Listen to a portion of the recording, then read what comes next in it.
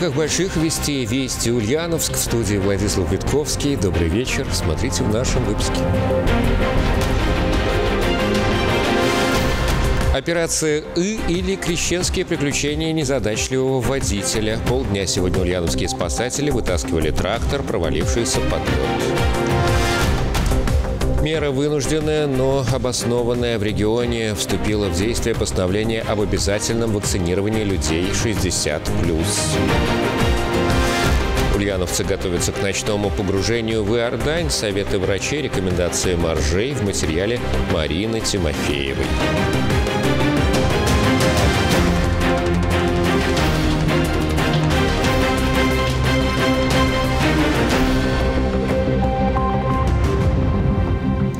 И начнем выпуск с ЧП, который сегодня днем произошло на Свияге. Под лед провалился многотонный трактор.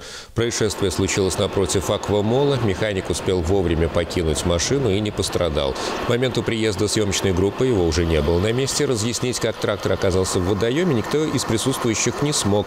Операцию по спасению технику, техники развернуло городское управление гражданской защиты. Чтобы зацепить трос, в воду погружали с водолаза. Однако вызвали технику из ледяного плена с первого раза раза не вышло. Потребовалось несколько попыток. В итоге к операции пришлось привлекать экскаватор, который разломал лед ковшом. Лишь после этого трактор начал движение к берегу.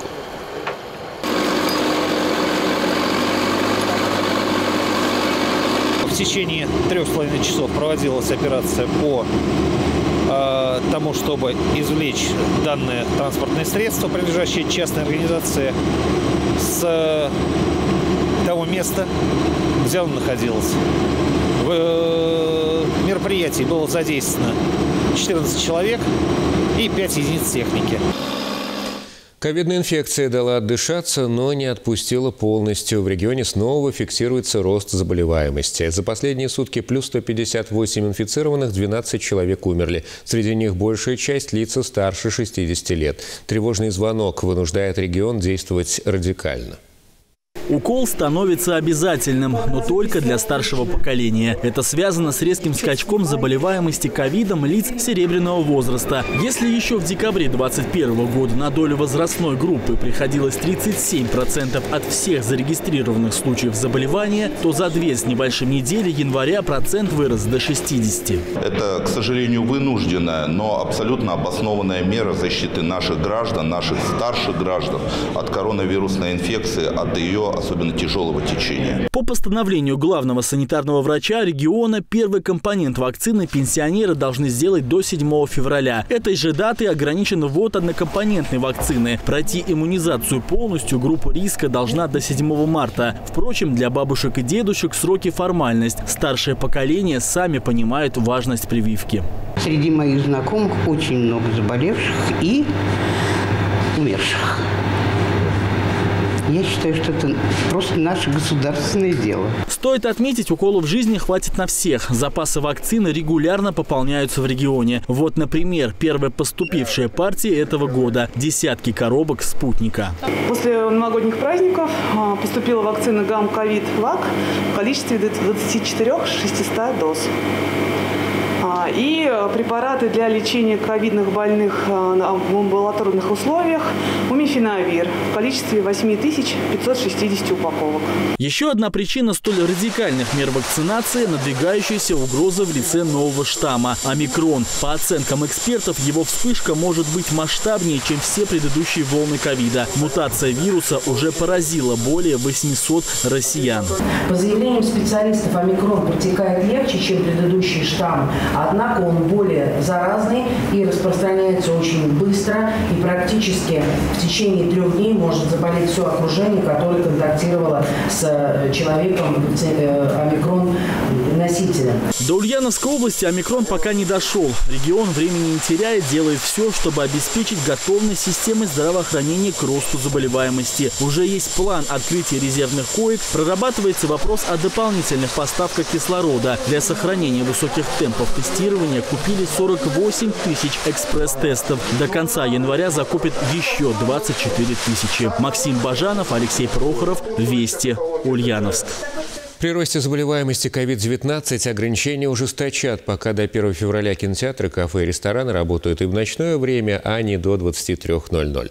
Напомню, в конце декабря прошлого года заведением общепита разрешили работать в ночном режиме. Причина – общее улучшение эпидемиологической ситуации во время ковид-истории. Смягчение длилось до 14 января. При этом одновременно сохранялись другие ограничения. Это наличие у посетителей свежего ПЦР-теста, либо сертификата о вакцинации или QR QR-кода. После окончания срока ночной режим работы решили сохранить до 1 февраля. Это зафиксировано в новом указе губернатора Алексея Русских.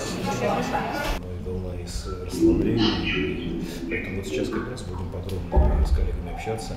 Это показало себя достаточно неплохо. Новогодние праздники мы прошли с определенным экономическим подъемом, а, и а, предпринимателям во многом удалось э, хотя бы сегодня немножко закрыть те дыры, которые были а, в осенний локдаун. Ульяновский ресторатор Дмитрий Акулин считает, что уместнее жить по другой формулировке, а именно или ограничения продлеваются, или отменяются. А вот понятие смягчения приучает к тому, что малый бизнес уже должен привыкнуть к ограничениям.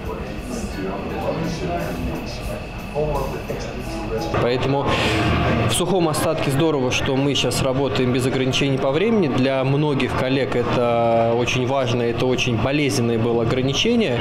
И хочется, чтобы ну, мы в ближайшее время о нем забыли.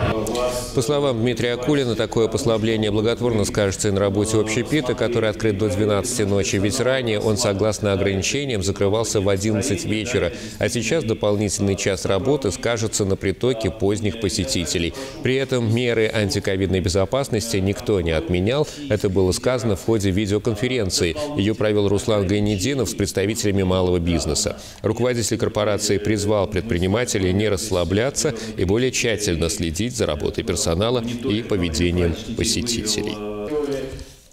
Регион должен быть готов, что уже в ближайшие дни новый штамм коронавируса появится и в Ульяновской области. Это обсуждали сегодня и на аппаратном заседании правительства. А о других новостях, озвученных на штабе, расскажет Марина Тимофеева.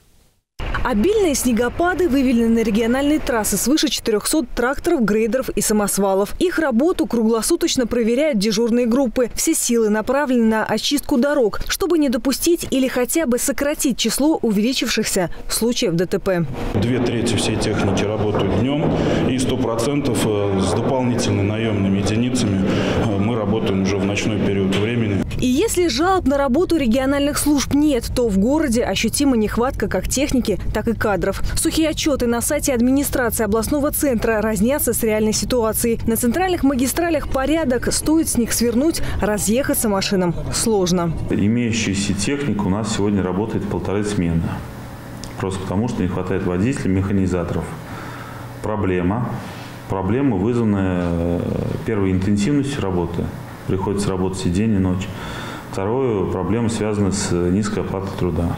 Теперь ее удвоят в январе и феврале. О росте зарплат в регионе начали говорить еще в прошлом году. На 2022 задача повышения благосостояния ульяновцев на первом месте. 60 тысяч ульяновцев ощутили увеличение заработной платы. Это все сотрудники коммерческой сферы.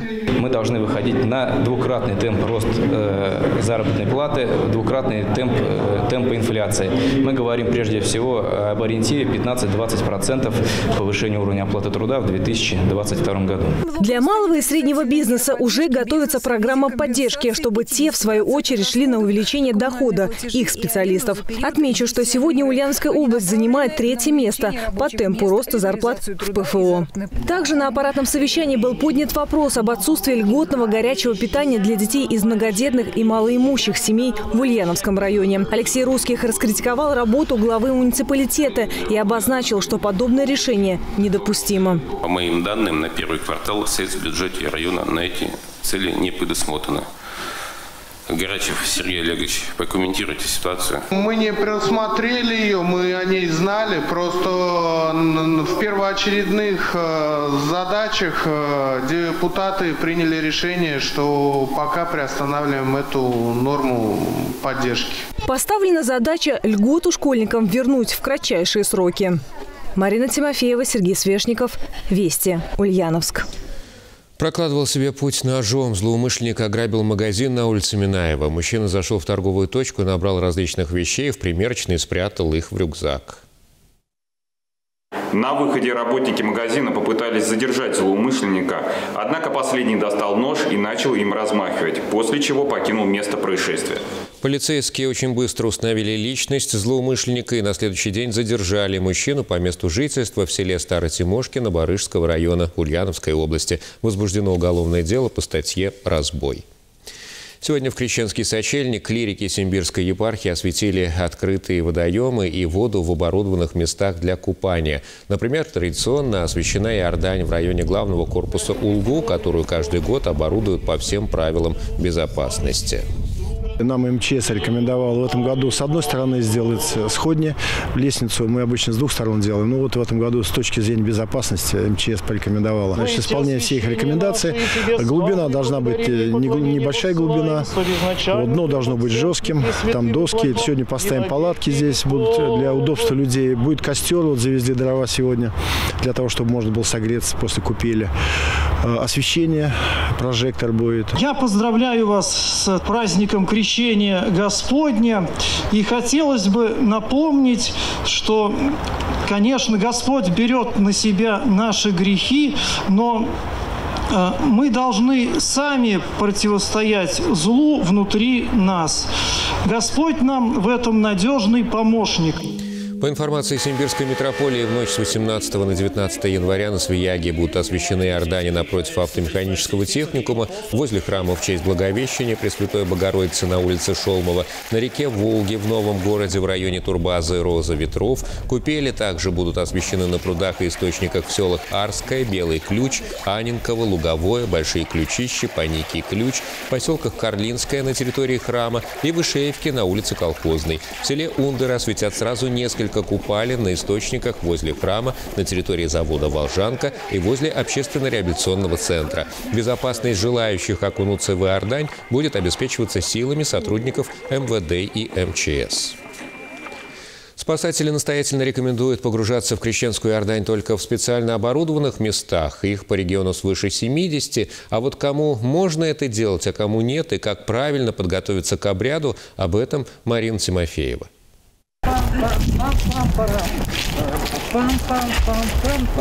Бодро и под музыку ульянские моржи отправляются на привычные процедуры. Погрузиться зимой в воду – особый для них ритуал. И если для обычного человека ледяная вода – это стресс для организма, то для них – образ жизни, здоровой жизни. Всех приглашаем на, крещенские купания. И будете здоровы. Елена Семенова обливаться холодной водой начала еще в детстве, а стаж моржевания – 10 зим. Поэтому советуют к крещенской Иордане готовиться не только морально, но и физически, испытав свой организм холодными температурами. Дома, э, в ванной, хотя бы холодные какие-то прохладные ванны. Если может, обливаться из ведра, а хотя бы там утром или вечером. Потихоньку и только при условии, что тепло и комфортно организму. Одно из правил погружения в воду зимой. Об этом говорят и врачи. С головой и тем более с разбегу чревато холодным шоком. А это и судороги, и головокружение, и увеличение частоты сердечных сокращений. При погружении в эту ледяную воду происходит спазм сосудов, и это может пагубно сказаться на состоянии здоровья.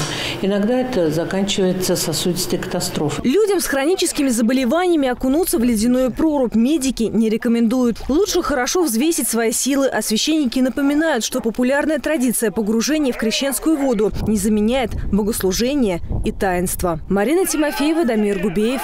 Вести. Ульяновск. И о погоде, какой она будет в ближайшие сутки, об этом далее. А у меня на этом все. Я благодарю вас за внимание. Всего доброго, приятного вам вечера.